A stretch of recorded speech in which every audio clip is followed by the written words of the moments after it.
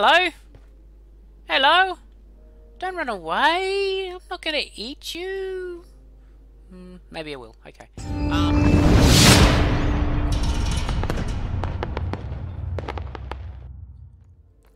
G'day gamers. Gob here. Welcome back to Gob's Quickies. Now I thought I'd do something different today. And that's start today's episode doing some Nether Fortress riding. Ah! Oh no. What am I going to do now? How do I find my way back here? I don't even know where I am. Oh, I respawned. I respawned right back in the fortress at my new respawn point, the respawn anchor, which I've set to this fortress. Isn't that lucky? Well, that was certainly lucky. Good thing I had a respawn anchor in the Nether, and that's one of the new additions from this latest snapshot, 20W12A, for the 1.16 nether update um, to Minecraft. It's an awesome block and really changes... Oi! Go away! Yes, you! Stop floating near me, you... Oh, these ghasts. They're ever so rude. Okay, so as I was saying, the Respawn Anchor is one of the latest additions to the game and it will change things in the nether. Okay, so you can set a spawn point, bit similar to a bed, uh, in the nether and uh, means that you don't necessarily have to run all the way back to the overworld. All we need now is something like this in the end and it will be awesome. Let's hope that comes one day soon. Okay, so how do we make one of these? Okay, so to make a respawn anchor, you need your crafting table, and you need six pieces of crying obsidian and three pieces of glowstone. Now you get your crying obsidian by trading with the piglins, and I think there's some over here somewhere. I saw one before. Hello, Mr. Piglin. And if you give the piglins um, gold bars, they will give you random loot, and sometimes you'll get crying obsidian. Okay, so to craft it, six pieces of crying obsidian,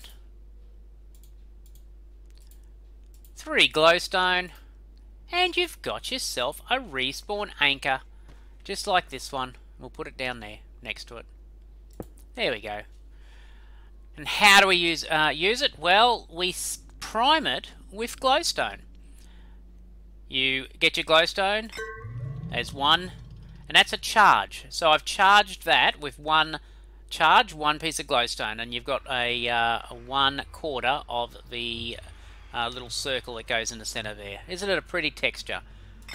Oh, two charges, three charges, and it's lighting up even further.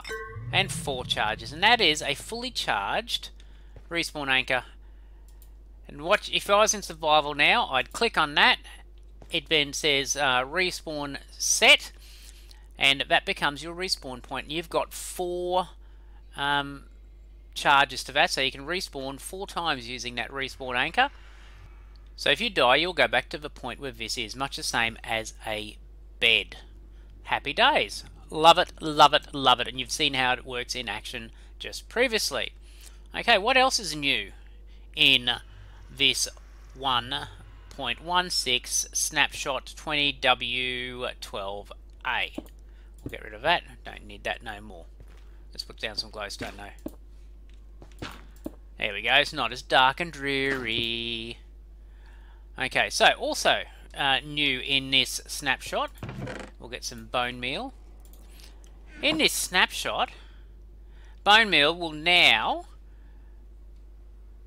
grow, undergrowth on the warped nylium, much the same, warped and crimson nylium I should say, much the same as it does on grass blocks in the overworld. So put it down and there you go. I have grown the little um, bushes that grow in the nether. And the same thing on the warped. Okay, so it spreads itself out. Now I discovered something interesting before. This is just plain netherrack. What, what happens when I put the bone meal on that?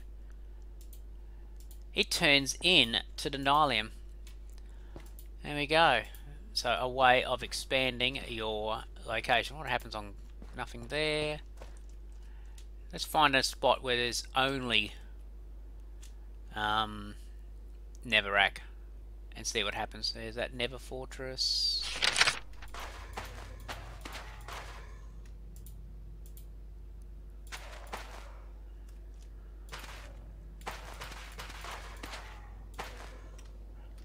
Okay, so nothing happens here, so it must be biome specific. Interesting little experiment. Let me get back to my little explanation point. If I can find it. I could be lost now forever. Ah, there we go. Now, while I'm out floating about, see the ba these basalt columns?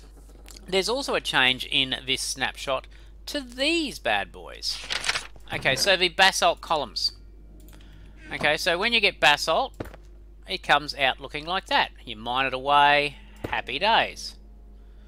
But now, under this snapshot, you can put your basalt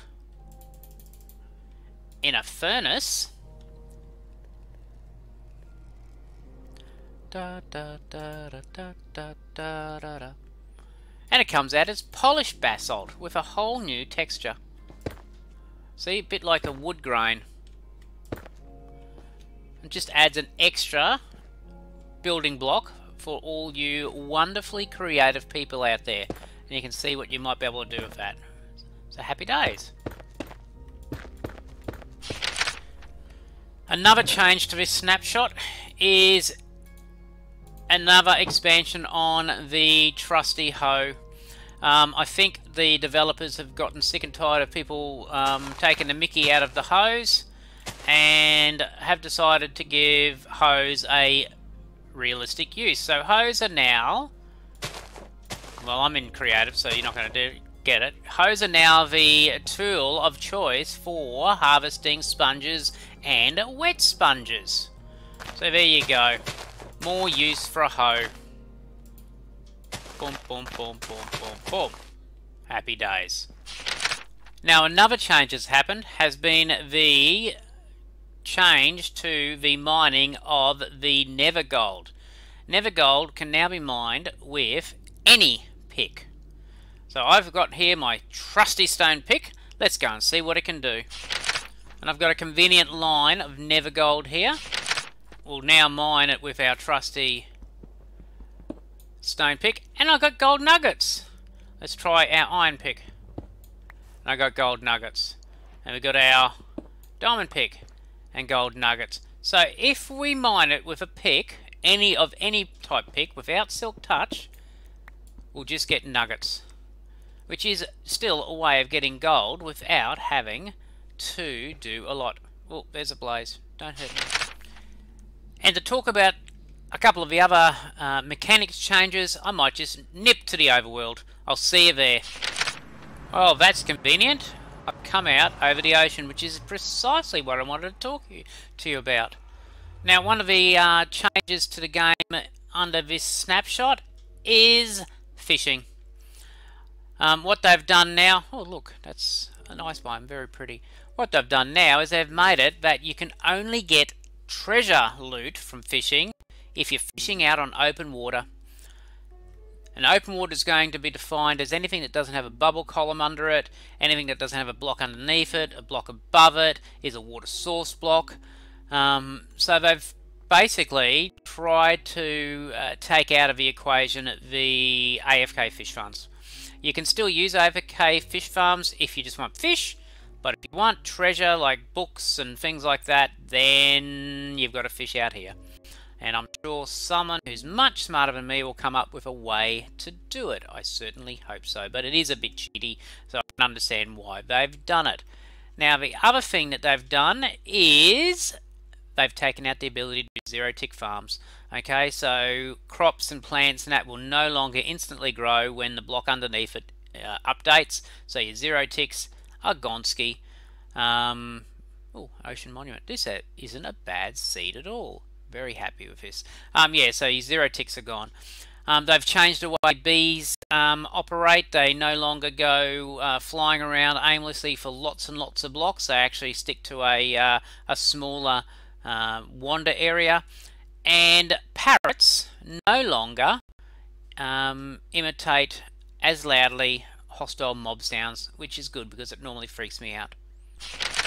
So there you go. That was a quick rundown of the changes in Snapshot 20W12A to the 1.16 Nether update. Very exciting. I'm really looking forward to the um, respawn anchor. That be pretty cool and uh, really make the Nether uh, a very different place. And I think that's really what this whole snapshot's all about. It's uh, making the Nether someplace that you want to explore, you want to spend time in, you want to uh, enjoy the ambiance and the biomes in there, uh, rather than just run in, grab some Nether quartz, uh, grab some blaze rods and Scarpa. Now you can stay for a fair while. If you like this video, please chuck me a like. Don't forget to subscribe and chuck me a comment. If you're not one of my patrons, please consider going visiting my patron site. I uh, give my patrons uh, early access to my videos. I uh, randomly uh, pop them into the patron um, site and I uh, ask them advice as to which ones they do, and they have a pretty good idea of what's coming up next. They also get pride of place in my patron hall on the Trycraft server. And if you haven't seen Trycraft series, go and give it a look. And uh, until next time, that's all from me. Hooroo!